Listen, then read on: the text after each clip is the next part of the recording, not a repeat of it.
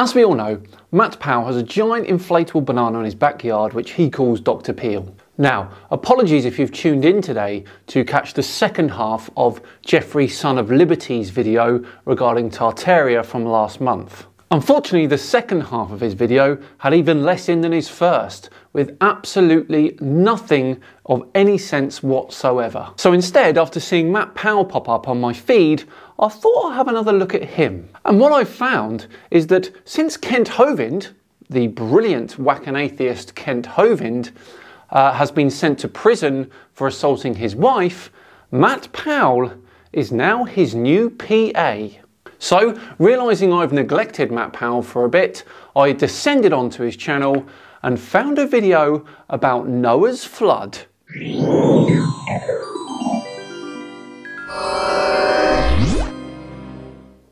Hello all and welcome along to another episode of Tinfoil Tuesday with me, SciManDan. Thank you very much for joining me. Before we begin today, a quick thank you to the sponsors of today's video, Curiosity Stream. Now, Curiosity Stream is smart TV for your smart TV. They're the Netflix for nerds, the Hulu for history buffs, and the Disney Plus for the scientist in all of us, with award winning exclusives and originals. Curiosity Stream has thousands of streaming documentaries and non fiction TV shows on topics such as history, nature, science, food, travel, and more. Featuring 35 collections of curated programs hand-picked by their experts for streaming on any device for viewing anytime, anywhere. I've recently been watching Becoming Martian, which looks at what our species needs to do in order to visit and finally colonise Mars. It is absolutely fascinating. Click on the link in the description and use my code SciManDan to sign up for just $14.99 for the entire year. Right, back to today's video where Matt Powell is going to give us three proofs that Noah's flood actually happened. Now, hold on people, this one gets choppy. Hey guys, this is Matt Powell. So now and then, an atheist will respond to my videos and will try to critique my opinions on like the flood of Noah or the certain facts that I bring forth and the interpretations that I apply to them. And they will come up with lame excuses for why they think and why they believe that the flood of Noah never happened. What, you mean like claiming that you couldn't fit every single species of animal on Earth into an ark? Or what about the fact that all of the marsupials, animals with pouches, decided that when they left the ark they would all go to either Australia or South America? Every single one. Why nowhere else? Do you mean excuses like that? So I wanted to go ahead and give the top three evidences geologically of Noah's flood. Geologically, Okay, interesting. Before we start, let's just familiarise ourselves with when this flood from, of Noah's was supposed to happen. Ah, around 3,500 years ago. Right, got it. The first one is just mountains. You can look at mountain ranges and see that they were formed catastrophically and very quickly through rapid plate tectonic shifts. Rapid plate tectonic shifts. Now, what does a worldwide flood have to do with that? Now, if you notice the rock layers on these pictures, they are bent rock. Now, you cannot bend hard rock.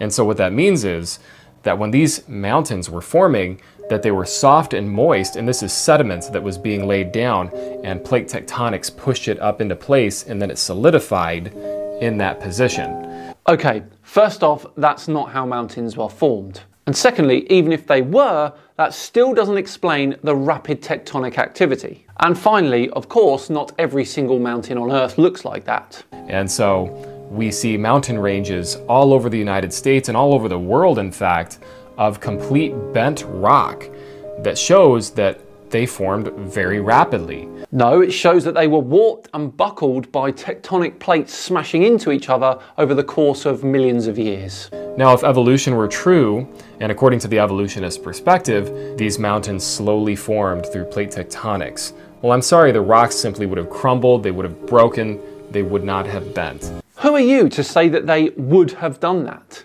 You apply very small time periods to everything you talk about, Matt. You cannot conceive that things can happen over an extremely long time very gradually. Another reason that we know that the flood of Noah is a fact is because if you look at coal seams across the world sandwiched between the layers of sediment, you'll actually find that they contain identical amounts of carbon 14 inside of each one.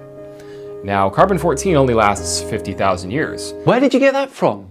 Now, it's got a half-life of 5,700 years, and that's actually a relatively short half-life, and it's why we have problems with carbon-14 in terms of dating something that's older than around 50 or 60,000 years. So you would expect if a layer formed slowly and another layer formed slowly over millions of years, that you would actually find no carbon-14 in the bottom layers and less and less as you move up. But in the catastrophic uh, plate tectonic flood model, you find, uh, and you would predict, to find identical amounts of C14 in all of the coal seams sandwiched between the layers. And sure enough, that's what we find. Now, after doing some digging on this one, I found a statement from a grad student who was at the university where these coal seams were experimented on. Many of the samples of coals that were tested were not only contaminated, but were also experiencing huge amounts of oxidation. Now, of course, this had bad effects on the results of the carbon 14 analysis. It's identical amounts, which means that all of that is the same vegetation being laid down in one event. When the Earth was experiencing plate tectonic movements and the continents were moving and the fountains of the deep broke open, as the Bible says, what do you mean when? It's all still moving now, buddy. We would predict that certain of the crust of the Earth would actually be subducted into the mantle and would cause catastrophic plate tectonic shifts. But those rocks, those slabs of cold rock, we would predict would still be in the hot mantle of the Earth. Interestingly enough, NASA had done scans on the Earth and found that there are humongous slabs of cold rock that have sunk down into the earth. And what does this prove exactly? And so you have gigantic slabs of cold rock that go 400 or even 500 miles down into the mantle towards the core.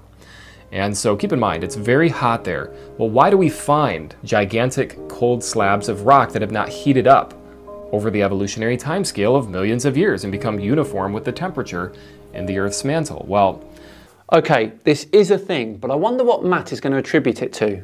The fact is that 4,500 years ago, approximately, there was a flood where the fountains of the deep were broken open, and a process known as subduction happened where the crust of the earth went down into the mantle and created mountains and earthquakes and catastrophic plate tectonics.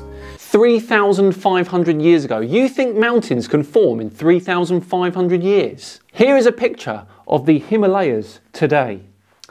And here is what the Himalayas looked like 3,500 years ago.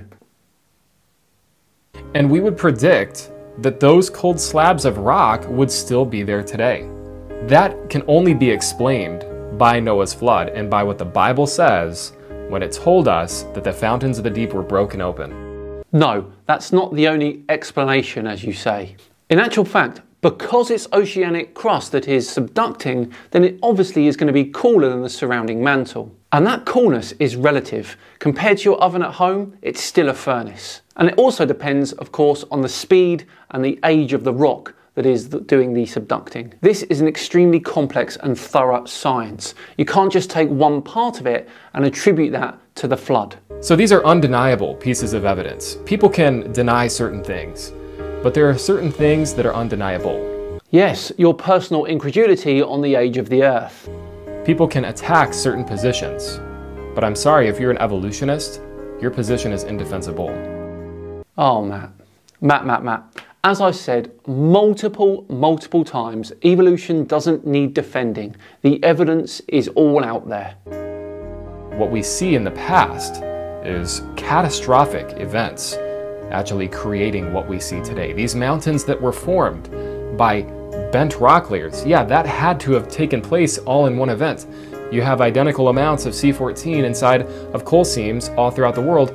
That means that that's the same vegetation all being laid down in one event. This is undeniable evidence. Only those who deny the facts will deny this evidence. And those who seek the truth will grab onto these pieces of evidence and use them to defend their faith. And that right there, Matt, is the word that ruins your argument faith. You have faith that the flood happened, we have evidence to suggest otherwise. God bless, guys.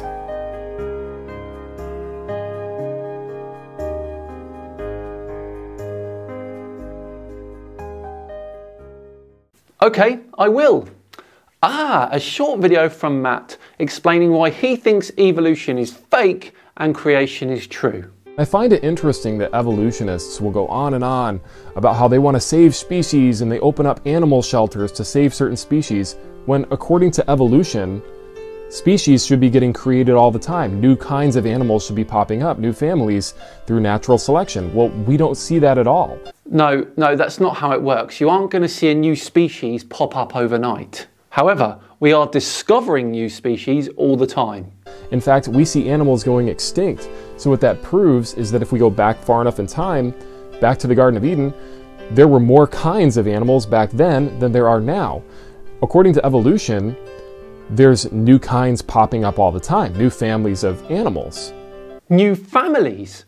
Absolutely not. Families are things like felines and canines. We aren't going to see a new family evolve in a week.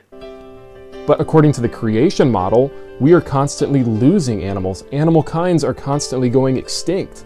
And so, whenever an evolutionist tries to open up an animal shelter and shelter a endangered species as they call it, they're just proving that there were species in the past that are getting wiped out now that we'll never have again. Evolution will never invent these new species through natural selection.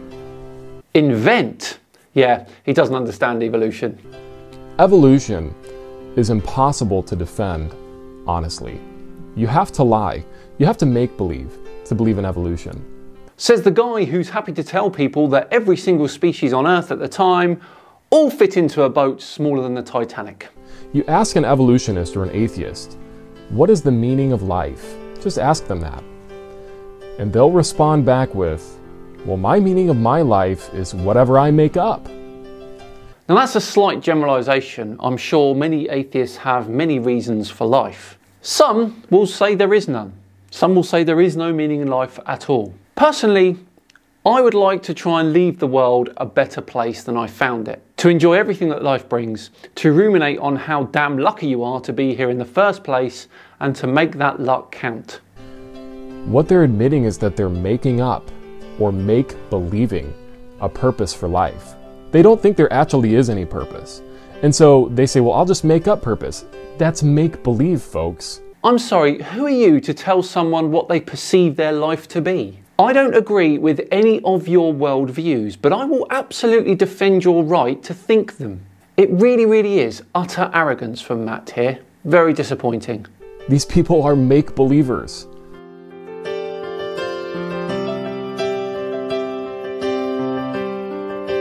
No thanks, I've had enough of Matt Powell today. We'll leave him there. I'm sure he's got to go and attend to Dr. Peel anyway, bless them. That's it for today's Tinfoil Tuesday. Thank you so much for watching. We're all done and dusted. If you enjoyed it, then please, please do consider subscribing. There's a whole host of other videos on Matt Powell and evolution. Check those out as well. If you liked today's video, then hit the like button as well. Thank you very much. Just enough time to once again thank CuriosityStream for sponsoring today. Remember, click the link in the description, use my code SciManDan, and you get CuriosityStream for $14.99 for the entire year. I've been SciManDan. Have yourselves a great week, and I'll see you all on Friday for the return of the numbers guy, Mr. Marty Leeds. See you then.